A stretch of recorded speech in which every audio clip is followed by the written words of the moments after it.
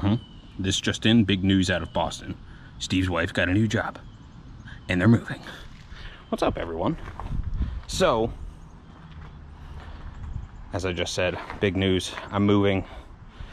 And so I got a standing desk for the new place. The place that we're in now, I couldn't get one because all of our walls are like angled like this because we're on the top floor. So standing desk, things that move up and down, it's just not going to happen.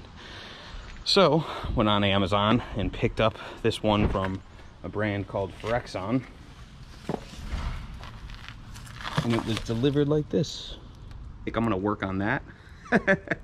no. So today I basically found stair treads that were the same size as this, and I'm going to re be replacing this piece of crap Formica top with, uh, you know, an MDF core with actual legit wood. So I'm to show you how I'm to take this POS and turn it into a nice ass desktop. So I'll bring you along. If you look at the top here, this is a total of 47 and a half inches long by 23 and a half inches wide. And if you can tell, there's a lot of these threaded inserts all over the place. So I'm going to be using or reusing these. Also, I'm debating keeping this as the location for the hole. Um, now the stair treads I got were 11 and a half inches wide, so they're just a little bit more narrow than this, but I also got an insert for the middle.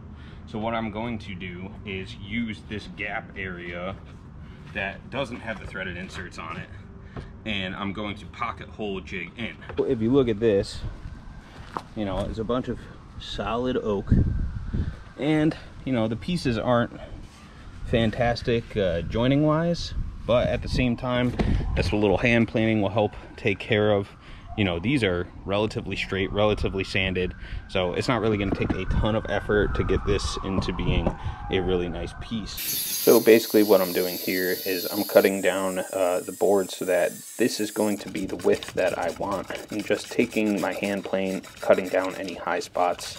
Um, you know sometimes you get these from uh, your circular saw and then I'm just drilling the pilot holes for the pocket jig and just loosely putting the screws in. Obviously you could tell that I'm getting them uh, most of the way there but not cinching them down too tight.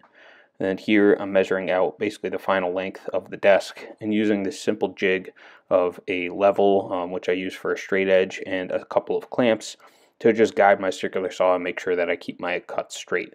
Um, obviously, you can see that the wood got a little wet. I went through a little rain squall here where I had to basically stuff everything in the back of my car, but you know, we make do.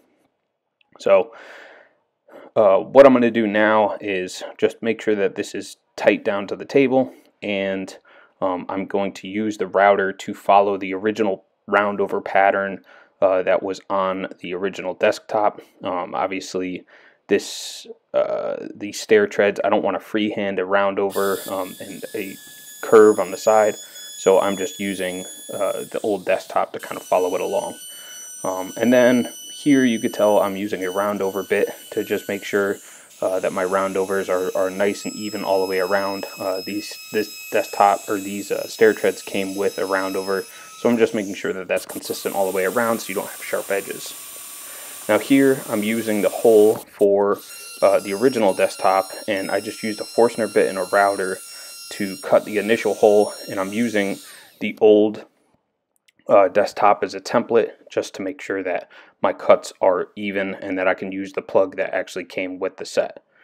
Now if you look at the desktop you could tell that uh, I have uh, pencil markings all over the top of it and it, that was just to make sure once the pencil markings are gone, at least I know at that point for that grit that my sanding is uh, consistent across the entire top.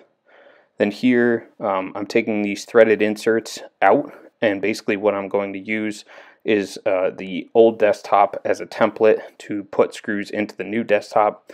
Um, and basically how I do this is I take the threaded inserts out and uh, I use a quarter inch drill bit to drill all the way through the old desktop into a little bit of the new desktop. Um, and this way I can make sure that the holes align up so that when I put the frame on for the actual desktop that it's going to line up perfectly and I'm not going to have uh, to play the guessing game to see um, where those holes should actually go.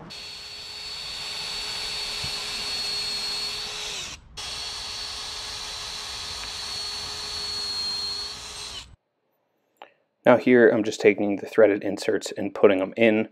Uh, these were kind of cheap zinc ones, so uh, a couple of them split as you could see on the left, but I just had to put them in a little bit more gently and not try to tighten them down so much. I just don't know if they were made for hardwood.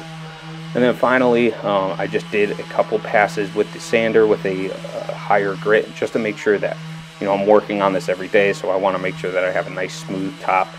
Um, and then I'm going to uh, finish this with polyurethane um, and just do a few coats of that just to make sure that I have at least a bit of durability when it comes to water and putting things on top. So I hope you guys enjoyed the video uh, and hit the subscribe button if you want to see more content like this and I will see you guys next time.